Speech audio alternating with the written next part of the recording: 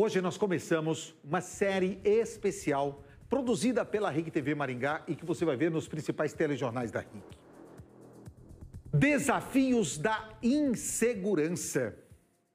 São reportagens especiais em três episódios onde os repórteres Igor Kremer e Gustavo Duarte foram a fundo para entender quais são os desafios da segurança pública aqui na região.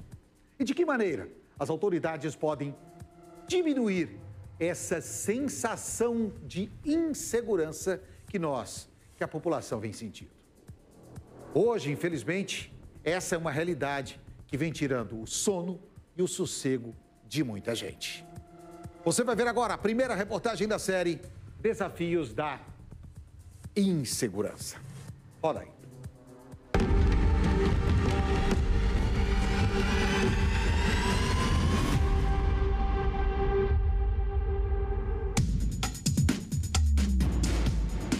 Maringá, noroeste do estado, a terceira melhor cidade em qualidade de vida no país. Já ocupou o primeiro lugar no ranking das melhores cidades do Brasil. É o município que mais se desenvolveu nos últimos anos. Já são quase 410 mil habitantes. Mas com o crescimento, vem junto os problemas que geram impactos em todos os segmentos. Na segurança pública não é diferente. De um lado, as forças de segurança, unindo tecnologia e inteligência. Do outro, a criminalidade, ladrões audaciosos, delitos cometidos em plena luz do dia. Uma luta diária e incessante. No meio está a sociedade que se sente impotente e clama por mais segurança. Então, como entender esse sentimento? É o que você vai ver agora na série Os Desafios da Insegurança. Com o crescimento populacional, é comum efeitos positivos e negativos em todos os setores do município. Em Maringá, o impacto na segurança pública vem preocupando a população. As câmeras espalhadas em vários pontos da cidade, em comércios, residências e vias públicas, acabam registrando diversos crimes. Madrugada do dia 8 de janeiro de 2023. Avenida Gastão Vidigal. Esta câmera de monitoramento registrou tudo. Na caminhonete, o homem usa uma chave micha, abre a porta, pega os objetos que tem dentro e foge. Dia 4 de fevereiro. Agora em um shopping de Maringá. O alvo, uma ótica e uma relojoaria. O casal entra no estabelecimento e sai com dezenas de relógios e óculos. Tentaram ainda arrombar o cofre um prejuízo milionário. Dia 8 de março. A vítima agora é uma enfermeira. Rua Campos Sales, Zona 7. A dupla caminha normalmente pela rua. Tudo já estava planejado. A vítima entra no carro. Um deles vai até a porta e anuncia o assalto. Os criminosos obrigam a mulher a descer e levam o veículo dia 29 de abril. Zona 2 de Maringá. Esta câmera registrou um roubo seguido de um sequestro. A vítima estava no carro que parou no semáforo. Ela é surpreendida por três criminosos. O trio entra no veículo e sequestra a mulher, que é mantida em cárcere privado. Depois de horas, foi deixada em uma avenida da cidade. Já o veículo foi incendiado pelos bandidos. Quase um mês depois do crime, um dos suspeitos foi identificado e preso. A Polícia Civil chegou até ele pelo extrato bancário do cartão de crédito da vítima dia 17 de maio. Três criminosos foram flagrados. Na calada da noite, o trio invadiu a garagem de um condomínio, na Avenida Humaitá. Os ladrões levaram bicicletas e uma moto. Dia 25 do mesmo mês. Também três suspeitos. A Avenida João Paulino Vieira Filho.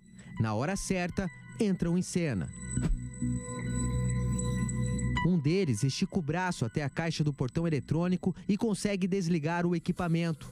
O trio leva quatro bicicletas. Esses são só alguns dos furtos e roubos cometidos em Maringá. E não tem hora mais para bandido. Tanto à noite como de dia, eles estão agindo. Temos nossas dificuldades? Temos. Precisamos de mais policiais? Com certeza. É, nós temos muito crimes de ocasião aqui em Maringá. Crimes de ocasião são aqueles que o cidadão está circulando, percebe a possibilidade e comete. E esse crime a gente só combate ele como? Com a polícia na rua, com o policiamento ostensivo. Aconteceu o crime, a Polícia Civil entra. Aí a gente vai identificar, vai qualificar, vai prender. A questão do furto é pela troca com droga. Infelizmente, o tráfico de drogas, assim como em outras cidades, assim como no mundo inteiro, ele está ligado em vários crimes. E aqui em Maringá não é diferente. As pessoas que estão em situação de rua, elas são mais suscetíveis a serem, a, serem atingidas pelo tráfico de drogas, pelo consumo de drogas e acabam, por vezes, para manter o seu vício, cometendo furtos, roubos e outros crimes. Então, existe sim é, é, essa, essa ligação das pessoas com essa sensação e é, uma, é um problema bastante complexo, que antes de ser um problema de segurança pública, também é um problema social e de saúde pública. Né? Tem que ser visto de uma forma integral, é, todos é, é buscando entender esse problema para que, ele, que se diminua o número dessas pessoas e elas tenham uma vida mais digna, enfim, sejam encaminhadas para uma, uma, uma, vida mais. É, que seja mais condizente né, com a condição humana.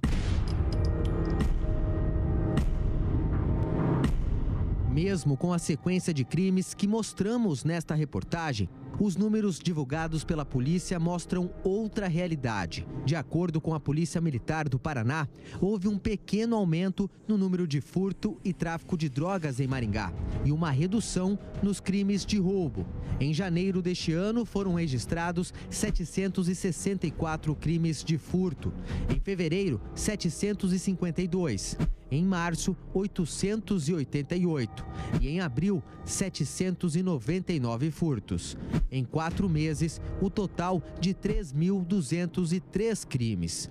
Em 2022, o total foi de 2.887, ou seja, em quatro meses houve um aumento de 316 crimes. Em relação aos crimes de roubo, nos quatro meses comparados a 2022, houve uma redução 113 a menos. Em relação ao tráfico de drogas, em 2022 foram 177 registros. Neste ano, 132. 45 a menos em quatro meses. Nós conseguirmos atender a essas ocorrências na medida da, das suas solicitações, as pessoas registrarem as ocorrências, né, para não haver uma demanda reprimida, é um desafio porque muitas vezes as pessoas acreditam que não compensa, que não vale a pena é, notificar ou registrar essa ocorrência. Então a gente sabe que existe um número, às vezes até maior do que o noticiado, e através do Disque Denúncia, por exemplo, 181, as pessoas elas podem contribuir né, com informações é, que levem à autoria desses crimes ou, de repente, a receptação desses objetos são furtados, para que a gente possa dar uma, uma resposta efetiva né, com relação a isso.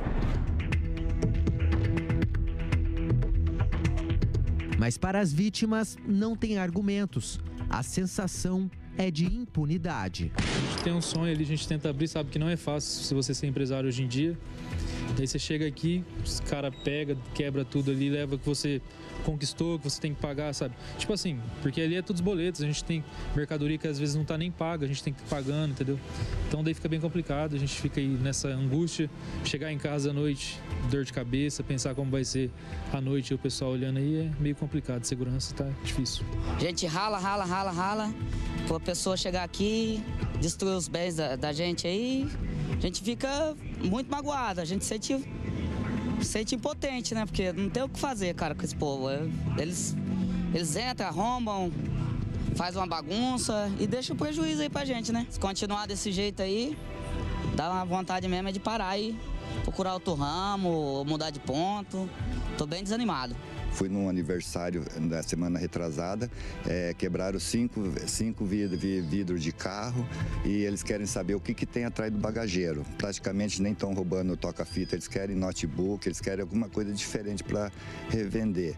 E se tivesse mais policiamento à noite na Avenida Brasil ou aqui girando, porque quando a gente precisa de alguém da polícia, quando a gente liga para a polícia, elas têm que estar por perto para pegar no flagrante. É muito difícil pegar no flagrante.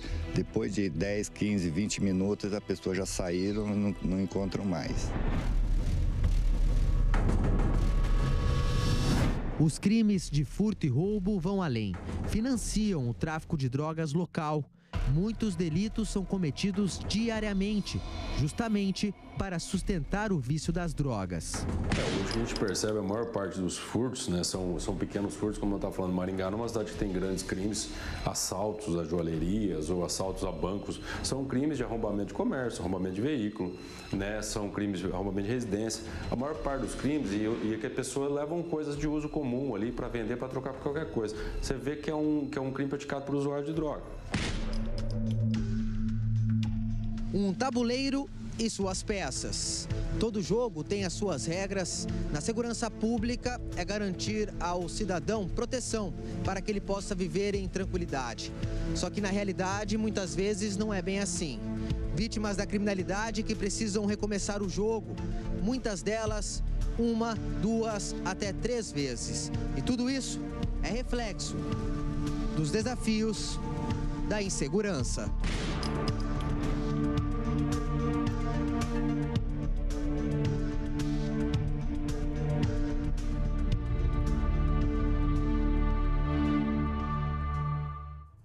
Será que você está tendo aquele nó na garganta que eu tô? Aquela raiva que você consegue sentir do seu estômago e ela vai, parece que subindo. É essa sensação que você está em casa? É essa a sensação que eu estou tendo.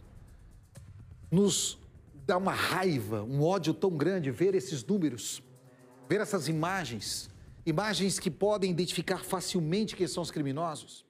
Ver o que diz o, o tenente-coronel comandante do 4 Batalhão, vê o que diz o delegado da Delegacia de Drogas, vê o que dizem as autoridades em relação a esses crimes que, para as nossas leis, são crimes de menor potencial ofensivo, mas que trazem um prejuízo tão significativo para a nossa sociedade que nós precisaremos mudar essas leis.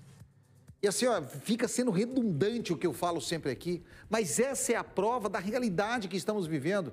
O delegado disse: nós não temos roubo a banco, roubo a joalherias, crimes maiores. Não. A gente tem crimes pequenos, mas que trazem transtornos à nossa população, ao nosso comerciante. Um prejuízo imensurável. E esses números da primeira reportagem da série do Igor Kremer já estão desatualizados. Em um minuto, pede para o Igor se posicionar, porque eu vi que hoje à tarde ele já tem atualização desses números que nós mostramos aqui e já mudou. E dá um minutinho